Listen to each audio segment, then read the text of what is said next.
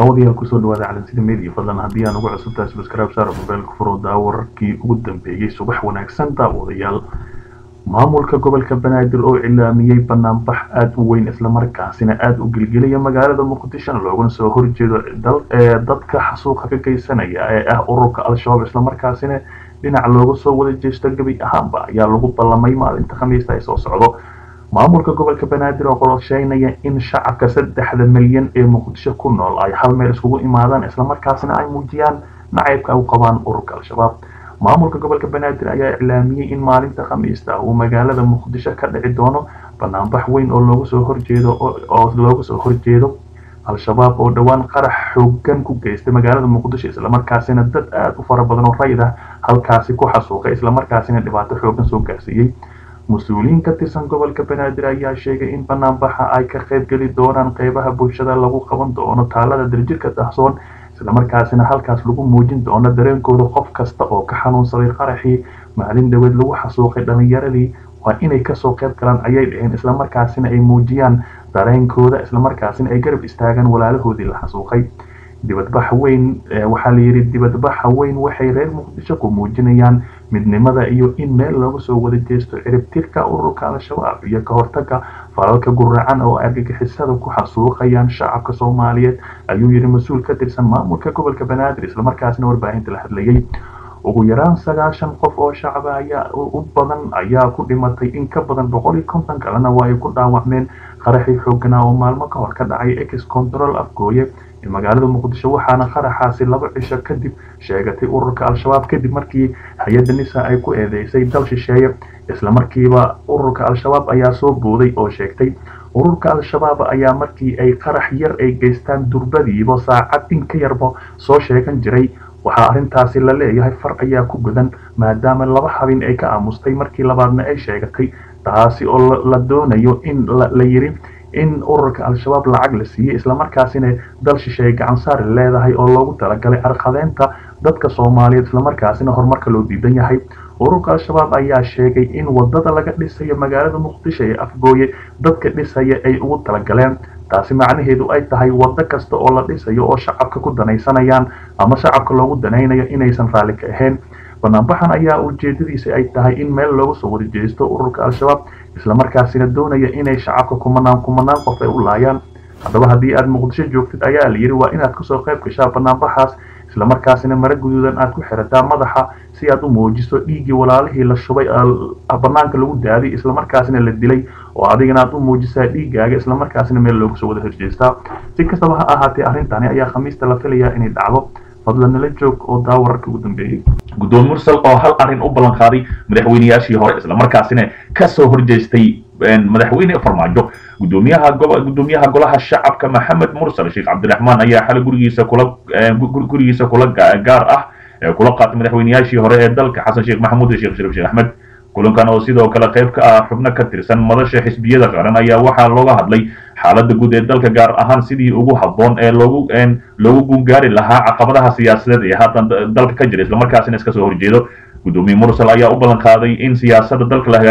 hagaajin doono. Islamarkaasina ay isku soo dhowaan doonaan sidoo kale hogaamiyaha madasha xisbiyada qaran afhayeenka golaha shacabka kala hadlay arrimo ku aadan sharciga doorashooyinka qaranka iyagoo u gudbiyey cabashada ku aadan qodobka muddo kororsiga ee ku jira sharciga la ansixiyay islamarkaasina ay qayladhaan xoogan ay ka keeneen taasi oo la doonaya in wax uu ka qabto master mursal.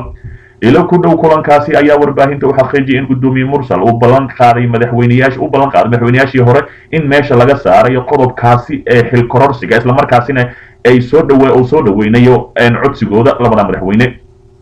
wararka ayaa sidoo kale sheegaya in la isku raacay in si wada jir ah looga shaqeeyo horumarka dalka gaar ahaan doorashooyinka soo socda ee dalka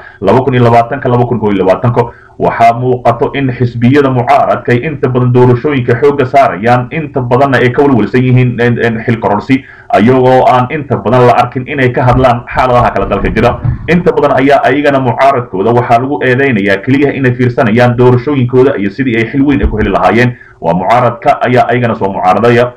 waa kulankii ugu horreeyey ee labada dhinac yeeshaan wuxuuna muujinayaa inuu xiriir cusub u bilowday madasha xisbiyada qaran iyo guddoonka golaha shacabka islamarkaasina ka soo horjeeda madaxweyne farmaajo inuu ka soo horjeeday in muddo ah in dalka uu ka ka dhacdo doorasho qof iyo coda islamarkaasina farmaajo uu ku shubto. Guddoomiyaha ayaa hadda waxa uu ansixiyey sharcigii doorashooyinka in muddo ah laga doodayey. Si kastaba ha ahaatee waxa ay diidan yihiin madaxweyneyaashii hore qodobka ku jira oo sheegaya muddo kororsi taasi oo wadnaha farta ay ku hayaan. Haddii farmaajo uu kororsado iyo haddii baarlamaanka ay kororsadaan shirkan ayaa sidoo kale ku soo aadaya iyadoo muddooyinkii la soo dhaafay hogaanka xisbiga dalka iyo madaxda dowladda soomaaliya ay xildhibaano ka tirsan baarlamaanka federaalka ay ku eedeeyeen inay ka shaqaynayaan muddo kororsi hor leh islamarkaasina caqabad ay ku tahay haddii waddanka muddo kororsi uu ka dhaco. Waa sida hadalku dhigeene sagaalkii qofood ee ka tirsanaa ururka al-shabaab ee ku jirta haweeneyda islamarkaasina boqol iyo siddeetan qofood in ka badan ku xasuuqay guddiga magaalada muqdisho qaraxyo soo abaabulay u qaabilsanaa dilalka qorshaysan islamarkaasina markii ugu dambaysay lagu qabtay ayagoo haweeney soo xulay xildhibaanadii tobanaad islamarkaasina lagu qabtay ayaa iminka waxaa lagu xukumay. Dilil toogasho ah haweeneyda keliyaha ee ku jirta raggaas ayaa waxaa lagu xukumay madaxa ha ku furto oo ah xabsi daa'im raggii kale la socday oo lagu xukumay ayagana. Dil toogasho ah islamarkaasina la soo taagaya diilka maadaama ay boqol iyo siddeetan qofood in ka badan ay xasuuqeen sidoo kale safiirkii imaaraadka oo la kulmay ninka u qaabilsan qaramada midoobay ee soomaaliya james woman saate warar dheer ayaa ka soo baxayo. Wasiiro iyo xildhibaano ka hirtamaya xafiisyada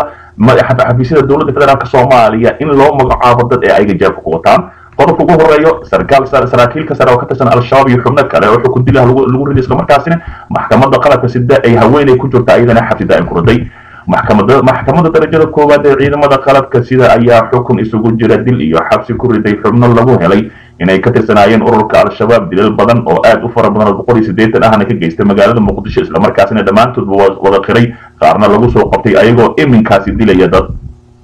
Dhegaysiya dacwadda xubnahani oo maalmo badan socotay ayaa ugu dambeyn maxkamadda ciidamada xukun kala duwan ku sagaal xubnood oo lagu helay in ay al-shabaab ka tirsan yihiin waxaana afar ka mid ahaa xubnahaasi xukun lagu riday iyaga oo maqan islamarkaasina inta kalena ay xaadir yihiin. Kuwa maqan ayaa iminka lagu raad jooga islamarkaasina sawiradooda lahaaya ayagoo magacyo been ah sheegtay islamarkaasina xukun maxkamadda ay ku sii riday. Hasaatee haddii la soo qabtana si toosa loo dili doono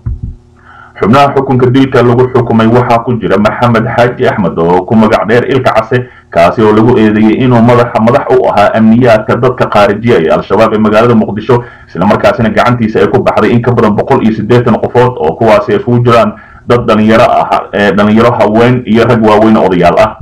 Waxaa sidoo kale dadka xukunka lagu riday ku jiray haweeney la sheegay inay ka tirsaneyd dagaalyahanada ururka al-shabaab waxaana haweeneydaani lagu xukumay xabsi daa'in oo ah madaxa ha ku furto si kastaba ha ahaatee haweeneydani haweeneydani ayaa u qaabilsaneed inay ayagana soo basaasto islamarkaasina goobaha ay tagtay basaas u samayso bistooladahan ay u qaado islamarkaasina dhalinyarada markii ay soo maraan baraha controolka ah kadib u dhiibto islamarkaasina markay dilka ay geystaan dhalinyaradaas mootada ku baxaan.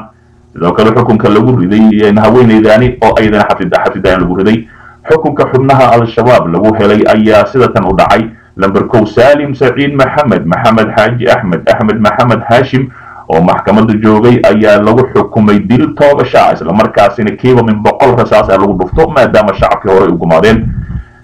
Labo sharmaarka cumar axmed axmed faarax iidle cabdiraxmaan sheikh cabdulaahi cabdulaahi ee ramadaan cabdiraxiim mursal oo maxkamadda ka maqan xukun dil ah toogasho ah lagu riday islamarkaasina xamral ama gebi ahaanba soomaali laga baadigoobaya haddii mar la arkane si toosa loo toogto. Saddex faadumo xuseen cali cadaawe oo maxkamadda joogtay waxaa lagu xukumay xabsi daa'in waa haweeneydii ee al-shabaab ka tirsaneed islamarkaasina dhalinyaradan welinaysay sidaad muuqaalka ka aragteen